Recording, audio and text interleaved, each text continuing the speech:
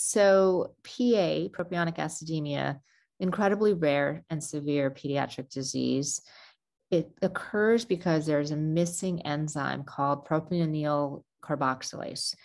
And that enzyme is involved in the breakdown of the chemical building blocks of proteins, which are amino acids. Um, when that enzyme is missing, there is uh, a buildup of toxic uh, uh, chemicals, essentially. And so, patients with this disease, their lives are uh, characterized by life threatening illness in response to really minor stressors sometimes and long term organ damage, which includes neurologic dysfunction, heart failure, um, due to you know these uh, this this carboxylase being missing.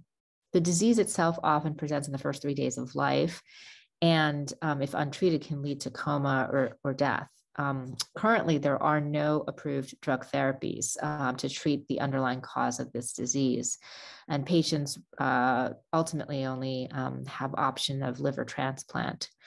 Um, so, how does our mRNA potentially address this? So, our mRNA called mRNA 3927 is administered intravenously, and it carries the uh, code that will instruct the body to um, uh, produce the uh, dysfunctional propionyl carboxylase, that enzyme that causes PA.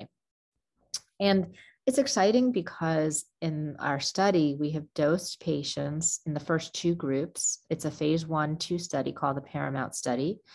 We've given actually about 75 doses and counting in patients of the mRNA. Um, five of the patients have completed dosing, and all five of those patients have chosen to enter our open label extension study to continue on drug.